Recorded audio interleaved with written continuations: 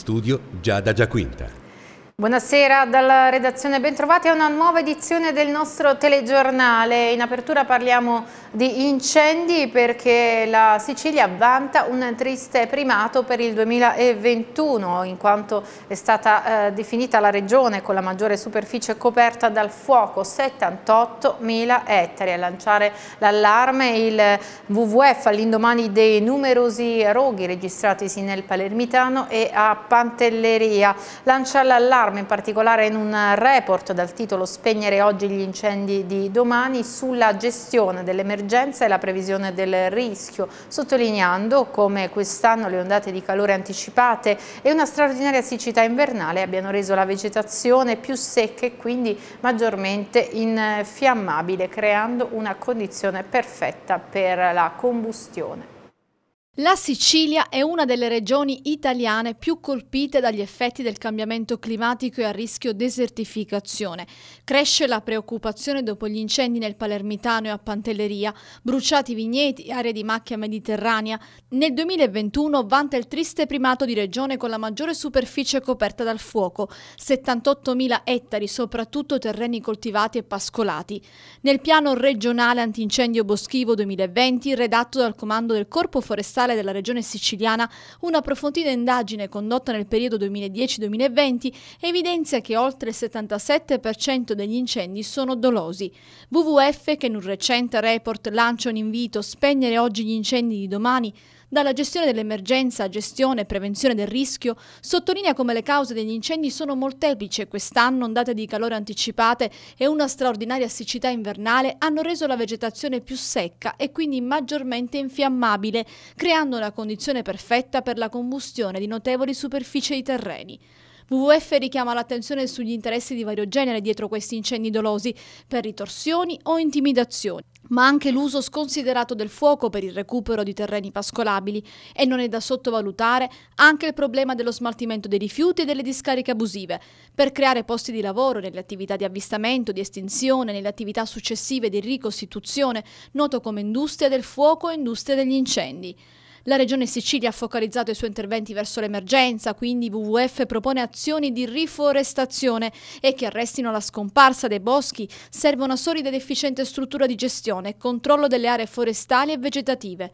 Altrimenti un'entità così vulnerabile come il bosco sarà sempre facile vittima di pratiche criminali e di comportamenti colposi lesivi, con un'assunzione di responsabilità da parte della politica siciliana. E questi giorni in Sicilia sono preoccupanti le ondate di calore. Per quanto riguarda le, il rischio incendi, massima allerta oggi nelle province di Agrigento e Caltanissetta, livello di preallerta sul resto dell'isola. Secondo l'ultimo bollettino diramato dalla protezione civile eh, regionale, oggi di, di, si è registrata oggi una sensibile diminuzione del rischio ondate di calore, un trend a quanto pare ancora in discesa per domani, ma eh, ieri è stata la giornata peggiore per quanto riguarda il rischio incendi, come ha dichiarato il dirigente della forestale della regione siciliana. La nostra isola sarà interessata da un lieve calo delle temperature, quanto riportato nell'ultimo bollettino diramato dalla Protezione Civile regionale, che parla di una sensibile diminuzione del rischio di ondate di calore, che scende a livello 1, allerta di colore giallo, con una temperatura massima percepita che si attesta sui 35 gradi, ad eccezione di Catania e Messina con rispettivamente 38 e 37 gradi. Trend ancora in discesa per domani, quando le temperature massima percepita dovrebbe attestarsi sui 33 e 34 gradi. Per quanto riguarda il rischio di incendi, per oggi massima allerta nelle province di Agrigento e Caltanissetta, mentre pericolosità media con livello di preallerta colore arancione per il resto della Sicilia. Ieri la giornata peggiore per quanto riguarda il rischio incendi, ad alimentare i roghi le temperature roventi con la colonnina di mercurio che ha superato i 40 gradi e un forte vento di scirocco. Ogni stagione antincendio si caratterizza per le giornate critiche che verranno ricordate nel tempo e il 18 agosto del 2022 verrà sicuramente ricordato, ha dichiarato il dirigente della forestale della regione siciliana Giovanni Salerno che parla di un record di focolai. Ieri abbiamo avuto 130 incendi in tutta l'isola, attraversata l'isola sia per quanto riguarda la Sicilia occidentale che quella orientale e soprattutto nel palermitano dove si sono verificati ben 15 focolai. Abbiamo avuto un'area percorsa dal fuoco per circa 346 ettari, di cui 290 ettari di area di superficie di vegetazione, la rimanente parte circa 50 ettari di area boscata. Desidero ringraziare operai, personale in divisa, sale operative e direttori di operazioni di spegnimento del corpo forestale per la grande professionalità e lo spirito di abnegazione che ancora una volta li ha contraddistinti, afferma il dirigente. Ringrazio anche gli uomini e le donne che a vario titolo non si sono risparmiati in una giornata dura e terribile. Il loro contributo è stato determinante per scongiurare il peggio. E come detto, notte di fiamme di paura nel palermitano Canadair in azione fino a questa mattina per spegnere gli ultimi focolai a Palermo e provincia. In particolare un incendio divampato nelle colline che circondano il quartiere di Borgonuovo e nella zona della discarica di Bellolampo, roghi alimentati dal vento di scirocco e favoriti dalle temperature roventi. Diverse le abitazioni evacuate, anziani soccorsi dal 118 2018 e in fuga anche animali selvatici. Hanno sorvolato le aree ancora fumanti fino a stamattina i Canadair in azione a Palermo e nel territorio circostante per spegnere alcuni focolai rimasti dopo i vasti incendi che ieri hanno colpito tutta la provincia.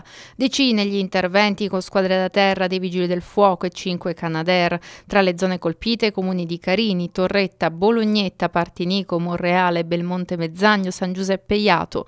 Alle operazioni di spegnimento hanno partecipato anche alcune squadre di Enne e Agrigento. Incendi che nell'area della discarica di Bellolampo a Palermo hanno visto in fiamme spazzature e teloni di copertura. Intervenuti i vigili del fuoco di Palermo con il supporto della protezione civile regionale e del personale RAP e proprio la RAP ha rassicurato sulla funzionalità dell'impianto. Il sindaco di Palermo Roberto Lagalla che si è recato nei luoghi interessati dai roghi poco prima di mezzanotte ha diramato una nota rinnovando la raccomandazione agli abitanti delle zone vicine Borgo Nuovo e Bocca di Falco alla massima prudenza limitando gli spostamenti e mantenendo chiuse le finestre. Paura anche per gli abitanti di Poggio Ridente, dove solo all'alba i vigili del fuoco sono riusciti a domare le fiamme sulla montagna. I roghi sono divampati in zone vicine a diverse abitazioni. Alcuni residenti hanno abbandonato le loro case per precauzione. C'è chi ha provato a spegnere i primi roghi con dei sacchi, anziani soccorsi dal 118, in fuga anche alcuni animali selvatici. Ad alimentare i roghi le temperature roventi con la colonnina di mercurio che ha superato i 40 gradi e il forte vento di scirocco. E sugli incendi nel Palermitano è stato convocato oggi un vertice in prefettura, un vertice straordinario sull'emergenza, la presenza dell'amministrazione comunale, la polizia municipale, la RAP, la protezione civile comunale, regionale, i vigili del fuoco e altre forze dell'ordine. Eh, Dall'amministrazione palermitana rendono noto che la raccolta dei rifiuti continuerà mm, normalmente, non ha subito eh, rallentamenti. E saranno celebrati domani i funerali nella chiesa del Carmine a Scicli alle 10 di Giovanni Mariotta, il 73enne rimasto vittima la sera di mercoledì del crollo della sua villetta incontrata a Fiumara. Dai primi accertamenti il crollo è stato causato dalla perdita di gas che ha innescato la deflagrazione della bombola. Il corpo del 73enne è stato rinvenuto dopo qualche ora nel vano cucina. Giovanni Mariotta era un ex dirigente dell'Agenzia delle Entrate e in pensione viveva da sola a Donna Lucata ma si ricava a Scicli quotidianamente per curare i campi e accudire i suoi gatti. E invece torniamo a parlare adesso dell'omicidio di Letoianni. Massimo Canfora è stato accoltellato con un coltello da cucina in più punti del corpo. È stato rinvenuto nudo in una pozza di sangue e a lanciare l'allarme il vicinato dopo aver sentito le urla dell'uomo. È stato fermato eh, per omicidio un diciottenne e secondo i testimoni avrebbe lasciato lo stabile poco prima dell'arrivo dei soccorsi. Fermo di indiziato di delitto per un diciottenne di origine tunisina ma residente a Letoianni per l'omicidio di Massimo Canfora, il 56enne trovato nudo in una pozza di sangue nel proprio appartamento ieri mattina nella centralissima via Nenzi nel comune di Letoianni. Le indagini dei carabinieri della compagnia di Taormina hanno ricostruito le ultime fasi di vita dell'uomo, operatore ecologico della città conosciuto da tutti persona mite e grande lavoratore, viene descritto così dai cittadini di Letoianni. Dalla prima analisi effettuata nel luogo del delitto, i carabinieri hanno potuto appurare che Massimo Canfora avrebbe proprio aperto a colui che poi l'ha ucciso con diverse coltellate sul corpo. Dalle indagini e dall'ascolto dei testimoni, la concentrazione è stata posta su un diciottenne. Ricerche terminate proprio dopo aver trovato il diciottenne che si è presentato anche con una ferita d'arma da taglio sulla mano, ancora sanguinante. Poi dalla perquisizione domiciliare sono stati trovati anche degli indumenti, anche questi sporchi di sangue. L'arma del delitto sarebbe un coltello da cucina con una lama di 10 cm, era ancora intriso di sangue ed era a fianco al cadavere dell'uomo. Il ragazzo è stato rinchiuso nel carcere di Messina dopo essere stato raggiunto dal provvedimento di fermo. Continuano le indagini per ricostruire l'esatta dinamica dei fatti, accertare se ci siano altri responsabili e soprattutto capire il movente. E adesso la politica, sono stati presentati i nomi per le politiche del Movimento 5 Stelle. A guidare per il Senato saranno Barbara Floridia e l'ex procuratore di Palermo. Alla Camera Conte ci sono poi anche i ragusani Vanessa Ferreri, Antonio Tringali, ma capolista sarà Scerra. I dettagli Giuseppe Conte sarà capolista alla Camera non solo in Sicilia, ma anche in Puglia, Campania e in Lombardia, in quest'ultima regione in due collegi. L'ex procuratore generale di Palermo, invece, Roberto Scarpinato, e l'attuale sottosegretario di Stato all'istruzione e già candidata alle primarie giallorosse in Sicilia, Barbara Floridia, saranno i capolista al Senato. Molte sorprese dalle parlamentarie anche per l'alternanza alternanza di genere. Nel collegio Sicilia 1 per la Camera, Valentina Dorso in seconda posizione, dietro il deputato Davide Aiello. Fuori il deputato invece palermitano Adriano Varrica, primo dei candidati supplenti. Un altro deputato uscente, Aldo Penna, ben lontano dai primi quattro posti alla Camera Sicilia 2, capolista e l'ex sindaco di Porto Empedocle, Ida Carmina. Dietro a Scarpinato al Senato nel Collegio Sicilia 1 l'attuale deputata regionale Chetti Damante e l'uscente Pietro Lorefice, nonostante abbia ottenuto il record assoluto di voti, 1173. Rimane fuori Steni di Piazza, penalizzato dalla candidatura di Scarpinato e dalla regola dell'alternanza uomo-donna. Per lui 1171 voti alle parlamentarie. Nel collegio Sicilia 2, alle spalle di Barbara Floridia, il senatore di origine sciclitana Giuseppe Pisani. Tra i nomi dei ragusani c'è anche quello di Vanessa Ferreri e, come supplente, Antonio Tringali. E in Sicilia la campagna elettorale entra nel vivo. Ieri il candidato Francesco Stornello ha presentato gli obiettivi che lui insieme al PD hanno intenzione di conseguire, lo ha fatto in occasione dell'inaugurazione del comitato elettorale. Una sala gremita di gente ha accolto il uh, candidato all'Assemblea regionale siciliana Francesco Stornello, avvocato modicano che ha parlato anche della sua adozione del format Town Hall Meeting, ovvero incontri in giro per le località di mare e per i centri storici in cui si riceveranno domande direttamente dal pubblico per un ascolto e un confronto diretto e non mediato da convegni o presentazioni retoriche retoriche organizzate che non prevedono il coinvolgimento attivo di chi ascolta.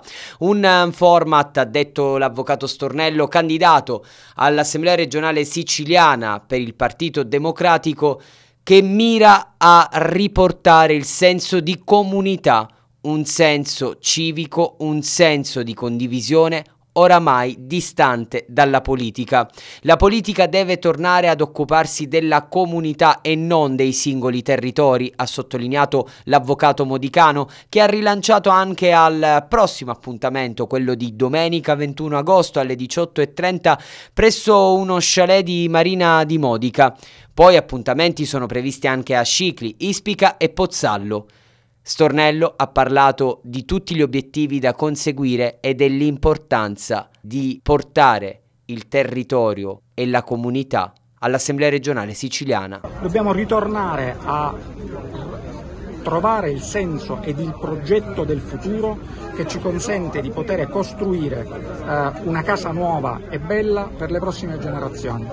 E questa è la sfida e questo l'impegno che con entusiasmo, con passione, con serietà e perché no con un sorriso eh, ci accingiamo oggi eh, a, eh, ad iniziare, consapevoli della difficoltà ma altrettanto consapevoli che questa comunità merita il meglio che ciascuno di noi può dare per il futuro. Ed è stato finanziato l'intervento di manutenzione straordinaria della SP46 Lispica Pozzallo per un importo di 19,4 milioni di euro. Il libero consorzio comunale di Ragusa procederà a raccordarsi con il Dipartimento regionale alle infrastrutture per ogni adempimento successivo di natura tecnica al fine di consentirne la realizzazione. A renderlo noto il commissario straordinario Salvatore Piazza che spiega come come sia stata accolta la richiesta avanzata dal Libero Consorzio Comunale di Ragusa alla Regione aggiunge questo importante finanziamento ci consentirà di completare l'opera avviata per il primo lotto grazie ai fondi ex Insicem, la progettazione portata avanti dagli uffici tecnici al vaglio della Regione per i necessari pareri di carattere ambientale e urbanistico. Una volta esitati dalle apposite commissioni, l'ente potrà procedere con l'iter e avviare i bandi, ha detto il commissario Piazza. Bollette raddoppiate se non triplicate rispetto all'anno scorso, solo nel mese di luglio oltre 18.000 euro per una ristoratrice. Federica Muriana, presidente territoriale di CNA Ristorazione Ragusa. Tanti gli operatori del settore ristorativo che fanno fatica ad andare avanti, a portare avanti la propria attività perché non riescono a sostenere più le spese. Oltre 18.000 euro di bolletta relativa al pagamento dell'energia elettrica è solo una delle tante recapitate a ristoranti, bar e imprese turistiche che stentano a portare avanti l'attività per le spese insostenibili. A parlare Federica Muriana, ristoratrice e presidente territoriale di CNA Ristorazione Ragusa, alla quale il prezzo della bolletta rispetto a luglio dell'anno scorso è triplicato. Da 5.000 si è passati a 18.000 euro relativi solo al mese di luglio e con una scadenza al 23 agosto. Non è possibile continuare così, il caro energia sta gravando in maniera seria sugli operatori del settore e sono in molti a pensarla se continuare o chiudere l'attività, come lei stessa ci racconta facendosi portavoce delle lamentele di molti sul fronte turistico. Quest'anno doveva essere un anno di ripresa, invece non lo è stata completamente. E non abbiamo aiuti e invece cosa eh, ci recapitano delle bollette assurde. Io ho parlato con tanti dei miei colleghi, siamo tutti nella stessa situazione. È veramente assurdo andare a pagare una bolletta, nel mio caso di 18.500 euro contro i 5.300 dello scorso anno, con gli stessi consumi, come dovrei pagarla? Molte le attività economiche dice Muriane costrette ad aumentare prezzi a svantaggio del consumatore. Per proporzionare questi costi dovremmo aumentare tutti i prezzi, ma chi ormai eh, potrà uscire a mangiare fuori per un piatto di pasta quando un piatto di pasta te lo vendono 20 euro per, la, per poter pagare la bolletta della luce? Non ci tiriamo indietro, ribadisce cercando di reagire. Siamo pronti a raccogliere tutte queste istanze per capire in che modo si possa trovare una soluzione. Riteniamo che non si possa più operare così. Con la CNA stiamo cercando di muoverci, tutto il nostro comparto in ristorazione, eh, per cercare di farci sentire perché dobbiamo avere delle risposte, dobbiamo avere delle soluzioni. Coronavirus, continua il monitoraggio dei contagi e dei ricoveri in Sicilia, facciamo il punto con dati aggiornati in questo servizio. Sono 1794 i nuovi casi di positività al Covid-19 nelle ultime 24 ore in Sicilia, 11.588 i tamponi processati. Ieri i nuovi positivi erano 2.082. Il tasso di positività è sceso dello 0,5%, ieri era al 16%, oggi al 15,5%. La Sicilia è al sesto posto per contagi, le persone attualmente positive sono 99.780 con un decremento di 2.607 casi. Le persone guarite sono 4.383 e 18 le vittime che portano il totale dei decessi a 11.964. Sul fronte ospedaliero le persone ricoverate sono 600 616, 20 posti letto in meno occupati rispetto alle precedenti 24 ore. Due in più però in terapia intensiva per un totale di 32 posti letto occupati. A Palermo i casi sono 337, a Catania 360, a Messina 295, 181 a Siracusa, 183 a Trapani, 120 a Ragusa, sempre per il dato provinciale 105 a Caltanissetta, 176 ad Agrigento, ad Enna 37. Avrebbero rasato la testa a un ragazzo contro la sua volontà registrando il tutto con il cellulare mentre lo eh, deridevano sull'episodio accaduto alla vigilia di Ferragosto a Scoglitti e che ha che ha per protagonisti dei minori, i carabinieri di Vittoria stanno compiendo delle verifiche dopo la segnalazione del pedagogista Peppe Raffa. Non è stata però sporta denuncia formale, sottolineano i carabinieri. Lo avrebbero accerchiato e poi tra risate e spintoni gli avrebbero rasato la testa a zero con un rasoio elettrico mentre veniva schernito e ripreso con lo smartphone. Vittima di questo episodio verificatosi a Scoglitti un minore, autori del gesto suoi coetanei tra i 13 e i 16 anni. Un episodio accaduto alla vigilia di Ferragosto ma di cui si ha notizia solo dopo la denuncia sui social del pedagogista Peppe Raffa, responsabile dell'ambulatorio antibullismi dell'Aspe di Ragusa, che lo ha segnalato ai carabinieri dopo aver ricevuto una segnalazione da parte di una residente che ha raccontato di aver assistito a quanto accaduto e di aver visto il ragazzo andare via in lacrime. L'episodio è verosimilmente riconducibile a un atto di bullismo, ma non possiamo etichettarlo come tale prima di aver portato a termine le verifiche del caso. Invitano alla cautela i carabinieri di Vittoria che evidenziano come non sia stata sporta denuncia ufficiale sull'episodio e che riferiscono come occorra valutare alcuni elementi per capire perché le parti interessate non abbiano sporto denuncia e se si può circoscrivere scrivere a un gioco tra ragazzi o se si cela dell'altro. Ciò che è certo è che il racconto di questo episodio ha suscitato indignazione, soprattutto sui social dove fioccano commenti negativi di condanna sull'accaduto, con un forte richiamo a una presa di coscienza collettiva al fronte di questo dilagante fenomeno trasversale di disagio giovanile. E ci fermiamo adesso per la pubblicità, tra poco. Bentrovati in studio. Droga, due arresti a Messina. Due arresti ma anche segnalazioni di assuntori oltre a ingenti sequestri di droga e questo quanto portato a termine dalla questura di Messina. Nello specifico per quanto riguarda la prima operazione è stato trovato in possesso di 100 grammi di sostanza stupefacente un trentenne messinese. Il tutto è avvenuto nel centro della città, nell'ambito degli stessi servizi a seguito di una perquisizione personale veicolare a carico di una donna di Messina di 67 anni, anche in questo caso in zona centro.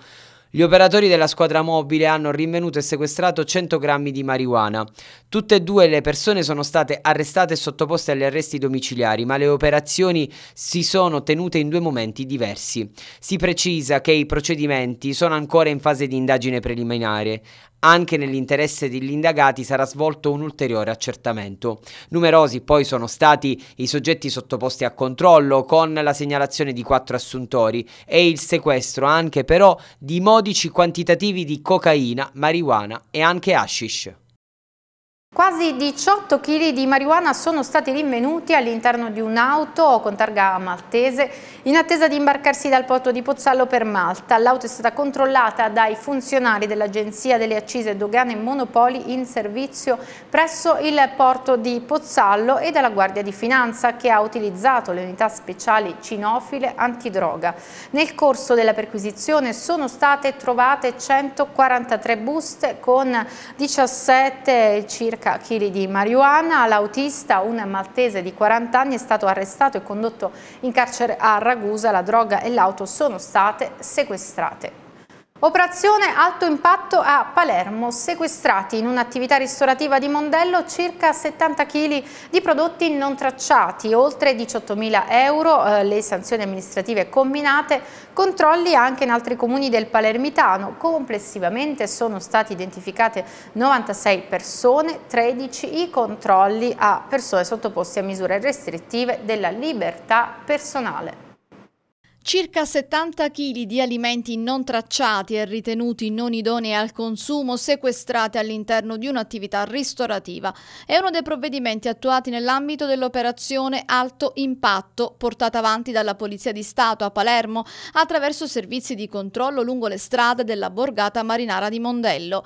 Un'operazione condotta con la squadra mobile, cinofili, operatori della Capitaneria di Porto, Polizia Locale, Ispettorato del Lavoro della Regione Siciliana e personale dell'ASP sotto la lente di ingrandimento proprio un'attività di ristorazione dove sono state riscontrate irregolarità di natura amministrativa e rilevate gravissime carenze igienico-sanitarie. Oltre al sequestro degli alimenti, durante le fasi di accertamento sono state rilevate dall'Ispettorato del Lavoro gravi violazioni in materia di tutela della salute e sicurezza del lavoro. Accertata la presenza di cinque lavoratori non in regola con gli attestati riguardanti la formazione e addestramento, tutti tra l'altro non ancora sottoposti alla periodica visita visita medica. Sono stati immediatamente allontanati dal luogo di lavoro. Le sanzioni amministrative elevate ammontano ad oltre 18.000 euro. Controlli anche nei comuni limitrofi di Isola delle Femmine, Capace e Torretta. Complessivamente sono state identificate 96 persone, di cui 21 con precedenti di polizia. Controllate 35 vetture, elevate 4 sanzioni al codice della strada e un veicolo sottoposto a sequestro amministrativo. 13 controlli a soggetti sottoposti a misure restrittive della libertà personale. E si sono conclusi a Militello in Val di Catania i festeggiamenti in onore del Santissimo Salvatore, una lunga e intensa giornata raccontata in diretta su video mediterraneo da Sara Donzuso e Ruggero Sardo, un lungo percorso arricchito di nuove tappe con numerosi momenti suggestivi.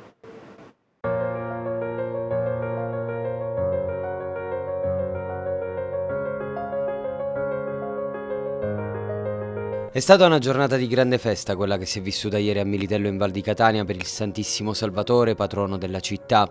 Dopo due anni di stop a causa della pandemia c'era voglia di tornare in piazza, di riassaporare tutti i momenti legati alla devozione e alla festa. Una lunga e intensa giornata che è stata raccontata in diretta su Video Mediterraneo da Sara Donzuso e Ruggero Sardo. Le telecamere si sono accese alle 10.15 per introdurre il solenne pontificale presieduto dal cardinale Mario Greco Beck che nella omelia ha ricordato l'importanza della fratellanza, del dialogo e dell'ascolto, dell'aiuto che ci deve essere tra i popoli e tra gli individui. La diretta è continuata nel pomeriggio per mostrare i momenti antecedenti a Nisciuta che è avvenuta alle 17, momento atteso dopo due anni di fermo a causa della pandemia, uscita che è stata preceduta da alcuni bambini che portavano a spalla una piccola vara che riproduceva il fercolo del Salvatore tra le novità di quest'anno, proprio questo momento.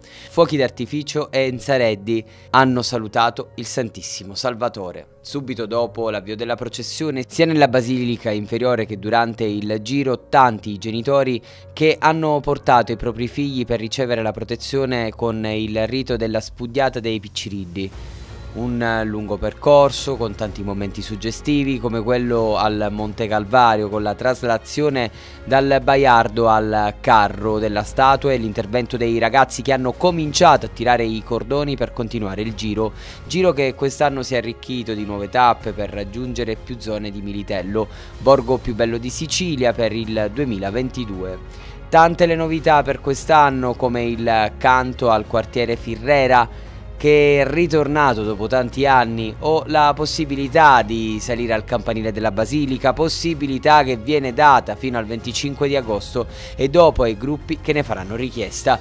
Le telecamere di Video Mediterraneo hanno trasmesso questi momenti così come hanno portato nelle case dei telespettatori anche la parte finale, quando il Santissimo Salvatore ha fatto ritorno in piazza e poi in chiesa, portato a spalla. Tante ore di diretta come tanti i messaggi e le mail arrivate ai nostri contatti, soprattutto da coloro che vivono lontano dalla Sicilia e che hanno così accorciato le distanze, grazie alle meravigliose immagini regalate dal Santissimo Salvatore di Militello in Val di Catania. Ed è tutto per questa edizione, grazie per averci seguito, buona serata.